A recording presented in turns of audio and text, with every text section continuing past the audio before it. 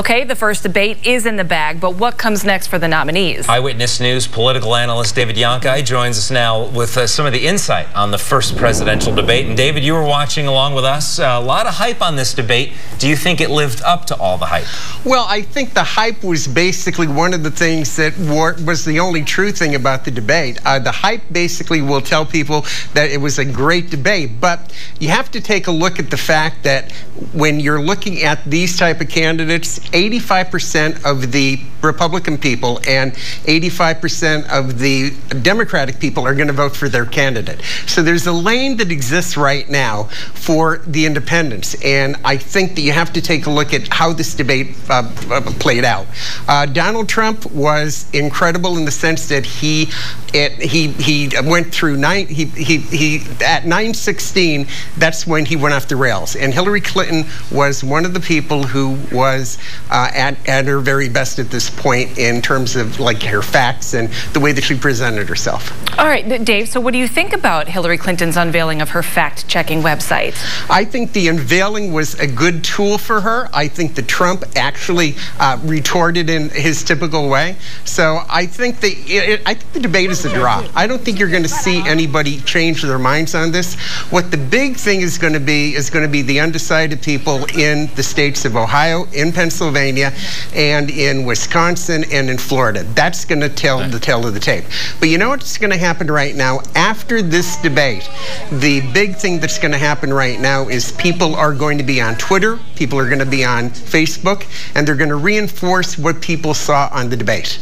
David, a lot of analysts uh, said Trump, in order for him to win this thing, all he has to do is stay calm, be knowledgeable, and basically prove he can act and look presidential. You don't think he did that, though? I don't think he did. I think at 916 he went off the rails, and the facial emotions in terms of what he was doing in reaction to her, um, I, I, know his people are going to enjoy it and they're going to support him. I mean, look at that King's College poll that you just referenced. You know, 75% of the uh, students are, are going to vote for him. So I don't think that has an effect because I think the people are going to vote for him because he's a change agent. And no matter what he says or what he does or how he performs, people are going to react to him. This is going to be a very, very close race. Dave, who do you think won on substance tonight? On substance, I think Mrs. Clinton won. And style, uh, his supporters are going to say Trump won because of the fact that he uh, was a uh, no holds barred type of guy. He came right at her. And so on style, I think people are going to give him style points, even though a lot of the things he was saying was just the same old campaign speech that he gave throughout the entire campaign.